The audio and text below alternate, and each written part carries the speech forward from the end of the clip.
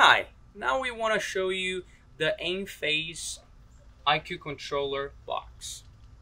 What does it do? That controls the energy from either battery or the sunlight.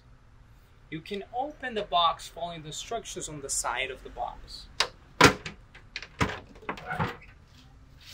Inside, you find a few breakers. So this breaker controls the envoy, which is from your Enphase envoy box that it's that it's located on the site. You can turn it on or off. The same thing for the AC combiner. And the NFT, it's for the smart switch inside. You might have the storage, which is the battery. In this configuration, we're using for sunlight backup.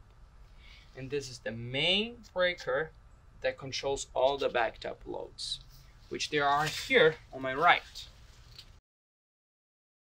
In this case, we have this box, which is a load control center, which is backing up a few loads from the house. We have here that they were labeled accordingly to what the client has on the home. And you can switch the breakers to the on and off position to turn on or off those loads from inside of the house. Again, this panel can be located on the wall of the outside of your home or inside.